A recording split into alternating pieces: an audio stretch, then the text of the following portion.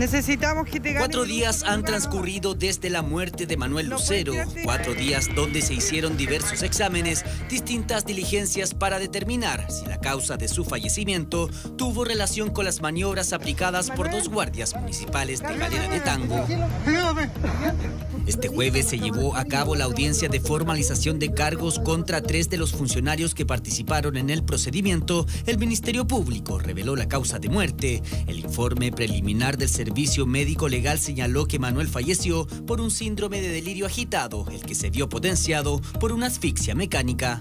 En palabras sencillas, magistrado, la presión que realizaron los dos guardias, poniendo sus rodillas al respecto, manteniéndolo eh, amarrado, no le dejaron realizar el proceso propio de respiración. Esto se habría acelerado producto de la ingesta de alcohol y drogas que había en el cuerpo de la víctima. Otro elemento desconocido fue que uno de los guardias esposó a Manuel, elemento que la municipalidad no entrega a sus funcionarios. Entonces, si ya lo tenían maniatado o esposado, como, como dicen ahí en la audiencia, eh, con eso bastaba ya de... con eso basta con eso basta. Fue el registro realizado por una de las funcionarias que dejó al descubierto el uso de estas esposas. De acuerdo a la fiscalía, ella le habría señalado a los demás lo que tenían que decir. Por lo mismo, se le imputó el delito de encubrimiento. Sin embargo, la misma funcionaria municipal entregó de manera voluntaria su celular, con el que se obtuvo mayores antecedentes de lo sucedido. Omitieron realizar o señalar antecedentes sumamente importantes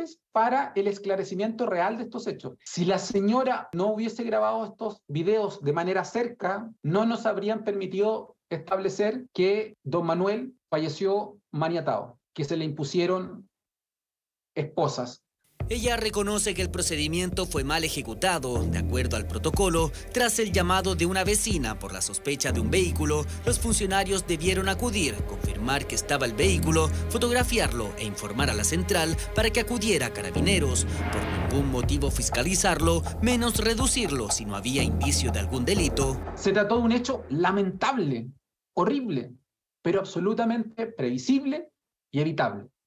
La propia víctima vociferó, como lo pudimos ver en los videos, ayuda, me estoy ahogando. Esto es una tragedia, pero yo quiero reiterar algo.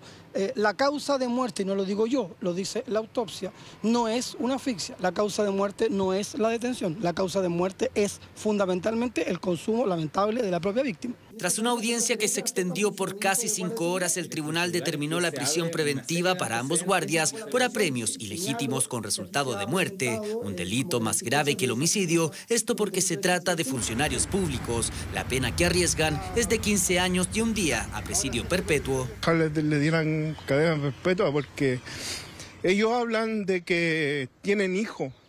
Mi hermano también tiene dos hijos. Que no van a ver a su papá. Y eso es, es desgarrador. En tanto, la funcionaria quedó sin medidas cautelares producto de la colaboración que prestó en las diligencias. Este viernes se realizará el funeral de Manuel. Puede ocasionar un accidente. Ayúdame, no he hecho nada.